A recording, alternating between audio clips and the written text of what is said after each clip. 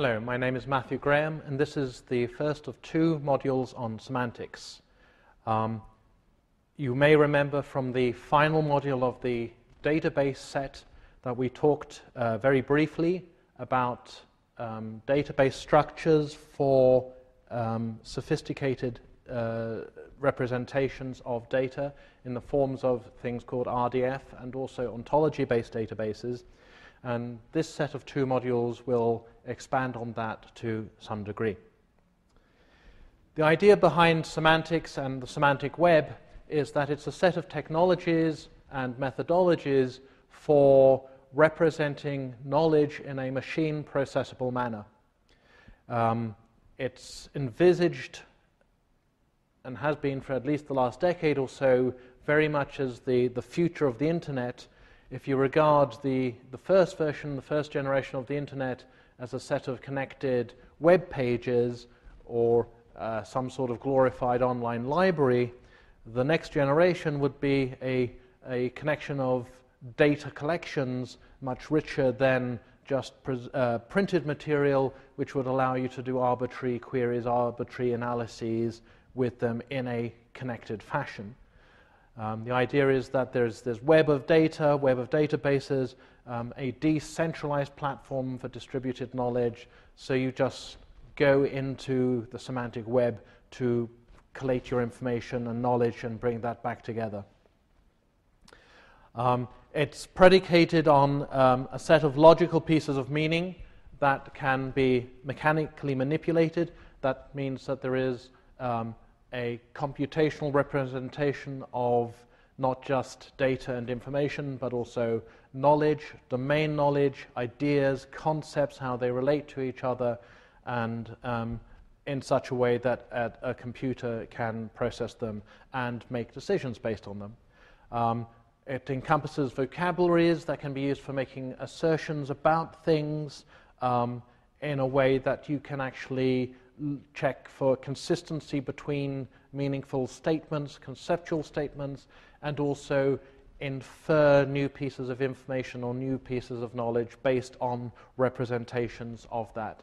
And this leads to the notion of smart applications, applications which actually have some idea of domain knowledge encoded into them and allow you to do sophisticated things with them. Um, an example of that would be um, let's say we have a data collection uh, of uh, various bits of data related to uh, zebrafish. Um, we have images, we have uh, the results of uh, genomic array um, experiments. So we have bits of DNA. Um, we have other types of experiments and imaging with that. We have this all in a large data collection. Um, but we have arranged it in such a way that each piece of uh, individual data is tagged with a semantic descriptor, which tells us which part of the anatomy it relates to. Um, we also have a conceptual scheme encoded into our smart application which describes how those individual anatomical descriptors relate to each other, uh, both in terms of an anatomical structure, but also maybe in terms of how the, uh, the zebrafish develops with time, so that this particular structure at this particular stage of development, when it's an embryo, becomes this particular structure when it's a, a juvenile, which becomes this particular type of structure when it's mature. What this allows us to do, for example, is that we could, for example, um, find all the data that's relevant to a particular anatomical structure, say the hindbrain, but because we have this conceptual description behind as well, we can actually infer on this and do broader and narrower searches. So we could identify the central nervous system, which the hindbrain is part of. We could also identify those individual anatomical structures which comprise the hindbrain and then use those additional search terms to, to widen our search and make a smarter search. Um, other types of inferencing we could do on that would be also to do particular stages of development that uh, are related to each other, or metabolic processes, or molecular information, depending on different levels we have in our conceptual schemes. So these sort of smart apps are much more. We, we already have the data stored in a relational database, but then we have an additional structure on top, which is doing knowledge management, as it's called. And this is very much the regime of, of semantics and semantic technology. So, the fundamental basis for this is that we regard knowledge as a, as a graph structure. Um, information or knowledge is, is, both, is best expressed in this idea um, as a labeled directed graph. Um, this is the uh, entity attribute value data model, which you will remember we covered in uh, one of the um, database um, modules. So you can refer back to that for a description. But the idea is that we have um, essentially triplets which represent um, pieces or facts of information, facts of knowledge. So in this particular graph that we're showing here, this is a way of representing um, something which has an arbitrary name at the moment, underscore one, but it has a name, lanthanum. It's identified as having something which has a name, lanthanum. There's a property called has atomic number, which has a value 57. This thing has a property called has color, silvery white. Then we have another entity called underscore 2 that has a name samarium, but it also has a color silvery white. So we have uh, a set of entities or subjects, we have a set of entities or objects, and we have a set of properties relating an object and a subject together. And in this way, we can, we can build up arbitrary graphs of, of knowledge. Um, and the way we do this, the underlying technology, is the Resource Description Framework, RDF, which we covered uh, briefly in uh, database module number six. This is a W3C standard for encoding knowledge. That's the Worldwide uh, Web Consortium, the same body who endorses HTML and all the other standards for the web. So the idea with uh, this RDF thing is that a fact is expressed as what's called a subject predicate object triple or statement. So in our example in the graph we just showed, one of those triples, as they're known, would be underscore one, that's the subject. Predicate has atomic number, that's identifying some property of it or some statement about it, and then a value 57. Um, the subjects, predicates, and objects are given as names for those specific entities. In the way that RDF works, each of those names is a, a URI, uh, very similar to a URL. Um, objects, the, uh, the, the, the, thing that, you know, the subject predicate, the, the object bit, um, can also have text values, which are called literal values, um, and um, they can also be data typed if you want to. So you could say that this thing is actually an integer, or this is a string, or it's an array, something like that, um, for programmatic ease. Um, there are various different ways of representing RDF um, depending on how programmatically you want to do it. Um, the top one here is N3 or turtle, um, which is a fairly succinct free-form expression. Uh, you define a namespace, um, identifying maybe the domain regime that you're using to carry your information. And then we have, uh, within the first angle bracket, is our subject. This is the thing that we're saying is lanthanum LA. Then we have a predicate, which in this case is PT colon name. And then we have an object, which is the um, uh, lanthanum encased in quotes. Uh, a semicolon is used to say that we're continuing um, we're going to add another predicate object to the same uh, subject. In this case, we have atomic number 57, and then another predicate object, which is color silvery white, and then um, full stop to finish our statement. So that is the representation of the, the graph structure for lanthanum um, in N3 Turtle version of RDF.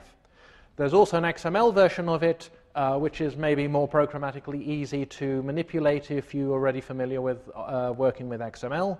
And in this particular case, that same N3 turtle uh, representation that's shown there is then expressed here in uh, maybe a slightly more structured and uh, easily readable um, XML form. You can see again we have um, our subject and then we have um, a set of uh, predicate object pairs. There's also another technology which is quite interesting called RDFA, which allows you to put these RDF statements into basic web pages. The reason you might want to do this is that you could have a web page which describes something to a human in terms of text and images and such like, but also it has this structured information embedded in it, so you could then pass the same web page to a piece of code, it can extract this information on it and then make use of that structured information for programmatic purposes. So you can have um, a, a, page which is both for human consumption and for machine consumption with the information encoded in both cases in a single go instead of having a separate one for the machines and a separate one for the humans. Now, one reason you might want to have, one thing you can do with all this data when it's out there is this idea of linked data, which is the sort of idea of what the semantic web is all about. This was a, a term coined by to, uh, Tim Berners-Lee, the, the founder of the internet, and he outlined, outlined four principles for linked data. First is that you use URIs to identify things that you expose to the web as resources. Well, we've already seen that's how RDF works, that subjects, predicates, and objects are, are mainly identified by URIs. Um, hopefully, you're using HTTP URIs so that everything just works with, with a web address instead of having some strange thing where you need to figure out what the beginning of it is, if it's FTP or Gopher or some other obscure system. Um, you provide useful information about the resource when it's URIs reference. What that means is that when you go to that URL, there is a web page which describes what that resource or whatever the subject, the object, the predicate is actually about, what that URI is being used as a shorthand to, and you also use links to other related URIs in the data you're exposing. And based on those principles, a whole web of information has built up over the last uh, six or seven years called the linked data web. Um, this connects many different um, regimes. Um, right at the heart of it is a thing called DBpedia. We're all familiar with Wikipedia.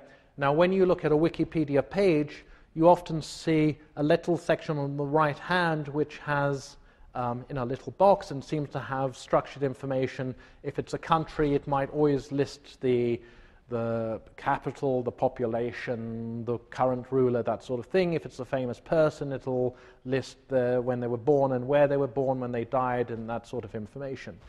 And there is a formal structure for a lot of the entities in Wikipedia to capture that sort of information. That information can be extracted from Wikipedia, and that's what forms the basis of DBpedia. That information is captured in DBpedia in a set of RDF triplets for all those semi-structured information that you find in the Wikipedia pages in that right-hand side.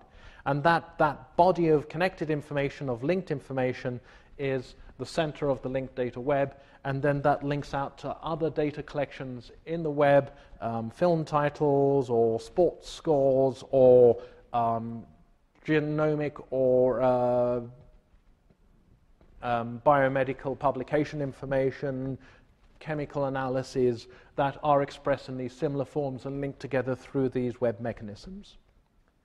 And the sorts of things that this linked data allows you to do is you can ask sophisticated questions of it um, through particular mechanisms. For example, you could say, well, I want a list of all episodes of the television series Breaking Bad which are ordered by their air date.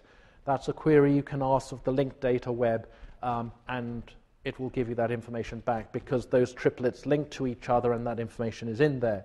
Or you could find the official websites of companies with more than 50,000 employees. Or you could say, find me things close to the Eiffel Tower. One of the uh, main hubs in the linked data web is a set of geopositions, and so the Eiffel Tower um, subject or object can be resolved into something which has a geospatial location, and then you can compare that to other geospatial locations and find those things which are near to the Eiffel Tower, and then, then render that in a list. Or, as I said, you could do things like discover new drugs to treat Alzheimer's. So you could say what proteins are involved in signal transduction and are related to pyramidal neurons.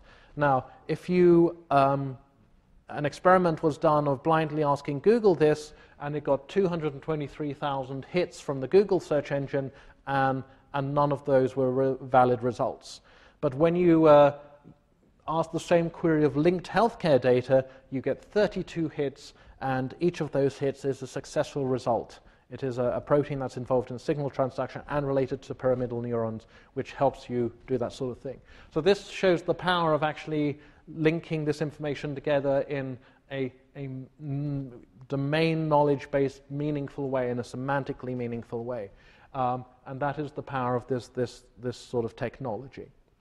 And that's where we will, well, we'll finish by some of the tools that you can use. Um, if you want to look at linked web data in your browser, uh, you can use the tabulator tool. Uh, there are specific browsers for doing this, Disco or the OpenLink data browser.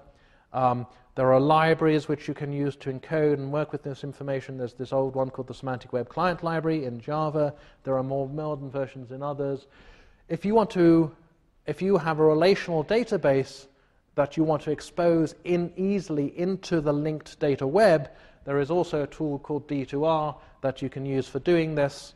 Um, it's essentially a, a, set of mappings that you have to um, uh, provide, which will translate the uh, database schema you have into something that can be understood in, in terms of uh, a conceptual scheme.